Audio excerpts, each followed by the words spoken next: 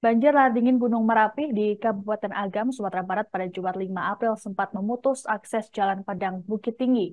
Adapun titik putus berada di Ai Angek di Ekskoto Tanah Datar. Terkait peristiwa ini, pihak kepolisian pun sempat menutup akses hingga kondisi memungkinkan untuk dilewati kendaraan. Para pengendara pun diminta untuk melewati jalur alternatif lewat Malalak. Adapun banjir lahar dingin ini membawa material, material hingga ke jalan Berdasarkan informasi terbaru, akses jalan tersebut ini telah kembali normal. Jalan bisa dilalui kendaraan setelah petugas gabungan dibantu warga bahu-membahu membersihkan material lahar dingin. Adapun sebelumnya, detik-detik saat jalan diterjang banjir lahar dingin sempat direkam dalam kamera amatir warga. Sejumlah kendaraan terpaksa berhenti lantaran banjir menerjang jalan raya.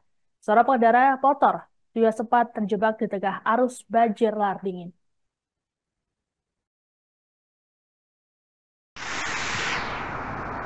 Oh, coba tayo. Masuk tunggu kali ya. Tolong dulu nak. Ya, tolong lah. Elo ada tali ya. Tali.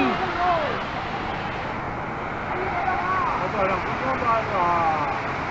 Jembatan tu kurang sejuk gua ayo. Ah tali belakang lah. Lelo cepat.